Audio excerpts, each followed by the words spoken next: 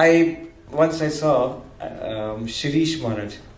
Uh, once uh, he's a very brilliant young monk, not so young now, but uh, he was uh, um, he was I think uh, all India second in his IIT joint entrance examinations, um, and brilliant all throughout. Once I saw him studying.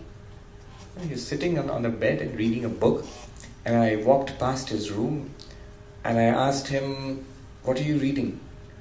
In Hindi, he, uh, Kya pad rahe Maharaj? And he doesn't he didn't reply, he didn't see me, that I'm standing in front of him, he didn't see that. And I went forward, asked him once more, he didn't react. His uh, foot was extended, so I caught hold of his big toe and shook it, and I said, Kya pad rahe hai?" You won't believe it, I'm touching this person's body. He can't feel it. Such tremendous absorption in what he is reading.